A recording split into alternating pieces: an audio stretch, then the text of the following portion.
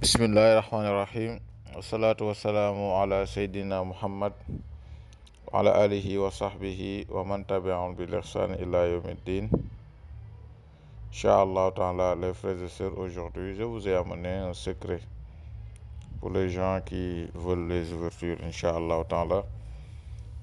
Les gens qui veulent l'élévation le succès dans les affaires avec le d'Allah subhanahu wa taala les gens qui veulent gagner les portes des opportunités, peu importe dans le domaine qu'ils sont avec l'aide d'Allah subhanahu wa ta'ala, pourront utiliser cette recette qui va consister à faire le zikr durant 7 jours.